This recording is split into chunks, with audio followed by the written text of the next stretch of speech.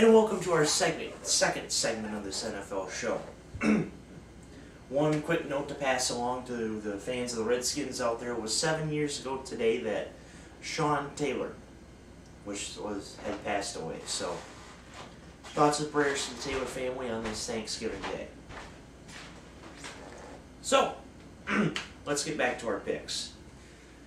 Vikings Panthers. I will say that I was a bit surprised that my original Vikings Packers pick last week was pretty close to accurate. I figured since the Packers were on the road, no way they'd score over 50 points. On the other side, Carolina, they've had a rough year. Ever since beating the Lions, surprisingly, they have struggled. But so is the rest of the NFC South, and it looks like it'll cost a potential 10 plus win team a playoff spot. Seeing as the Vikings cut it close with Green Bay, I think they finished, they seal the deal here against Carolina. Minnesota 20, Panthers 14. Steelers Saints. Well, Big Ben hasn't been able to keep his unbelievable pace lately, but then again, you can't expect six touchdown passes every single week. That's just not common. But what is common when the Steelers franchise is winning, the Steelers have been doing that. The Saints, they haven't. Losing three in a row in the Superdome is absolutely terrible. Drew Brees and the Saints had a great chance at home to take control of the NFC South. Now, the question is, who wants to win the NFC South? Like, who wants to be a millionaire? Who wants to win the NFC South? The Saints won't win it this week, but neither will the rest of the division. Steelers 27, Saints 20. Rams, Raiders. Well, congratulations to the Oakland Raiders. I didn't think they'd win a game this year. But they get that elusive first win.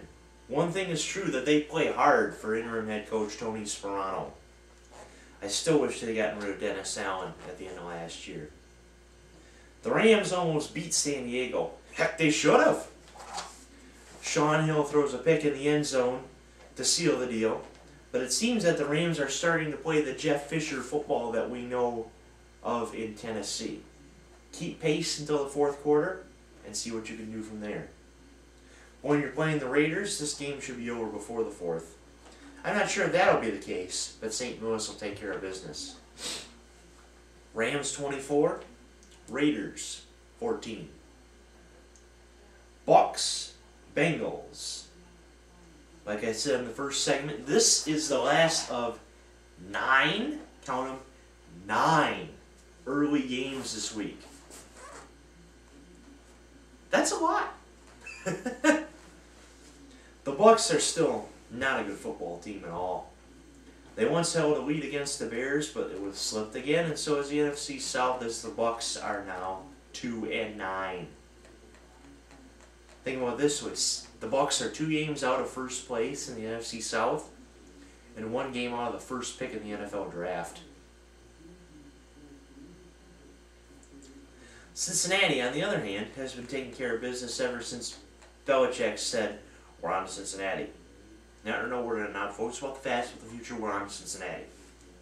And of course, the Bengals got whooped in that game against the Pats, but still, they've been doing their job. After finally getting over that hump in Houston, this seems to be a road game they should win easily, and they will.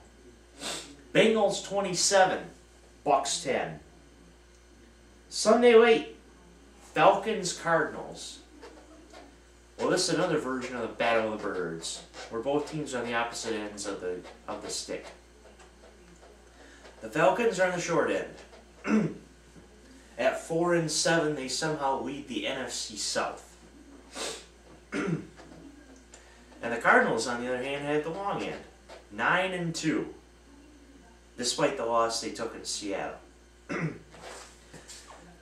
don't have much to say about this one, except the fact that the Falcons' future this season is literally the last name of their owner, Arthur Blank. Cardinals 30. Falcons 7. Packers Patriots. Now this is a matchup that most fans have been waiting for so far. Two high-powered offenses that have shown their abilities the past few weeks in what some people are calling the Super Bowl preview. I don't think that's the case. There's no doubt Green Bay and New England are the two hottest teams in football right now. but the real question is, will these two be the best two teams in January? For right now, my answer is no. Pats 35, Packers 28. Sunday night for Chiefs Broncos. Last week it wasn't fun for Chiefs fans. Losing to Oakland is never fun, nor is it something to be proud of, nor is it something that should be on your resume. Denver, on the other hand, got back on track last week after beating Miami, after losing a shocker against St. Louis.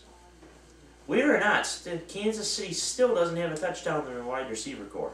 Of course, their quarterback is Alex Smith not Peyton Manning. Just about every receiver on the Broncos roster has a touchdown for Peyton. And some will score a few on Sunday night.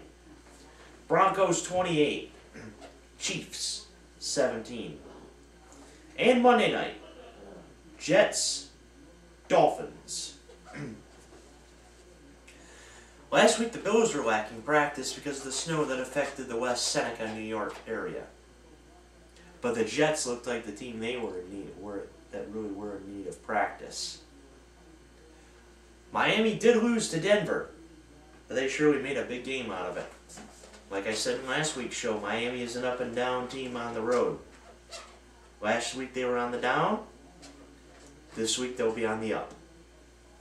Dolphins 24, Jets 13.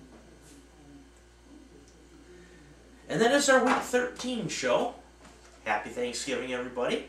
Enjoy the games today and enjoy the games Sunday and Monday. Hope you have a great Thanksgiving weekend.